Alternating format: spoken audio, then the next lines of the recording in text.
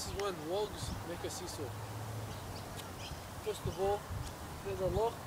You need to pick it and then take it out. But this, in this case, there's no lock. So let's take it out. I'm trying to get it exactly to the middle.